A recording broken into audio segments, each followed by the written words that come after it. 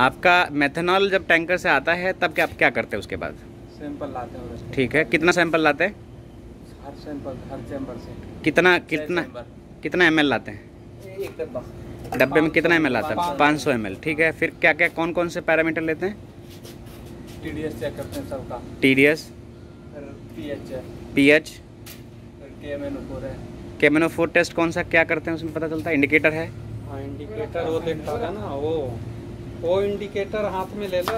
हाँ। हाँ ये के फोर है? हाँ इसे इससे टेस्ट मतलब पैरामीटर क्या है? कौन सी चीज़ पता करते हैं? नहीं ये पता करता है कि मेथनॉल का कितना मतलब के एम एन फोर एक होता है वो कितने मिनट चल रहा है? जितना अधिक चलेगा वो उतना बढ़िया मेथनॉल होता है। अच्छा वीक चलेगा मतलब जितना देर में आ, कलर देगा। हाँ कलर चेंज होता है। कलर चेंज होगा इंडिकेट करेगा तो उतना अच्छा आएगा। हाँ। तो ये तीन टेस्ट हो गए और?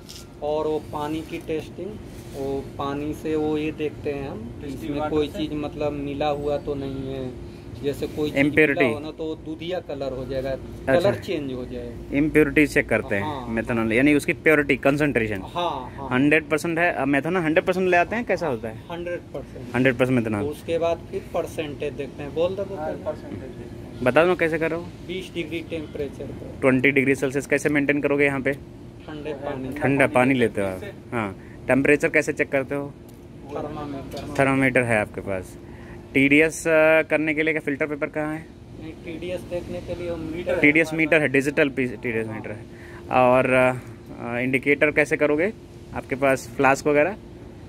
ग्लास वगैरह इंडिकेटर जो केमन फोर इंडिकेटर कर दो कैसे करोगे? ये बोतल में करते हैं। बोतल में ले लेते हैं अच्छा ये बोतल में ये टेस्ट हो रहा है वो क्या है? हाँ, वो के फोर का? हाँ। इसमें बताओ जैसे कलर डिफरेंट दिख रहे हैं अब इसका इंटरप्रिटेशन बताओ कैसे इसका क्या मतलब है इसका क्या मतलब है इसका क्या मतलब है? नहीं अब तो सबका सेम ही हो गया है ना? हाँ। डालते हैं तब कलर अलग होता है। एक करके बता दो ना फटाफट। एक बोतल फैला दे। कोई भी मेथनॉल है ना? हाँ।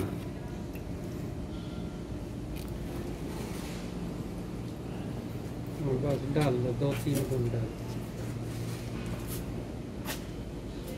बस। कलर चेंज हाँ एक कलर डिसकलर हो जाता है।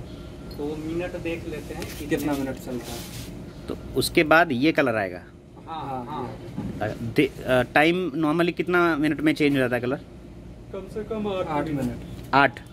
आठ मिनट में आठ मिनट में आया तो ये परफेक्ट है सही सही है। है, हाँ। और पहले हो गया तो? तो मतलब थोड़ा गड़बड़ है। है। है। और ज़्यादा देर हुआ नौ मिनट दस मिनट में हुआ तो? वो बढ़िया में तो और अच्छा ही। है। नॉर्मल टाइम जो है नौ मिनट है। मिनिमम नौ मिनट में ये चेंज होना चाहिए ऐसा कलर जो एग्जिस्टिंग में है this from this colour to this colour it takes about eight minute after adding केमेनो four छः चैम्बर होते हैं टैंकर के अंदर इसलिए छः सैंपल आप लेते हो और छः सैंपल को यहाँ पे कर दो। आपके यहाँ पे दो चार छः आठ नौ दस रखें बोतल? वो और पहले का अच्छा पहले का रखा हुआ है। ओके जी।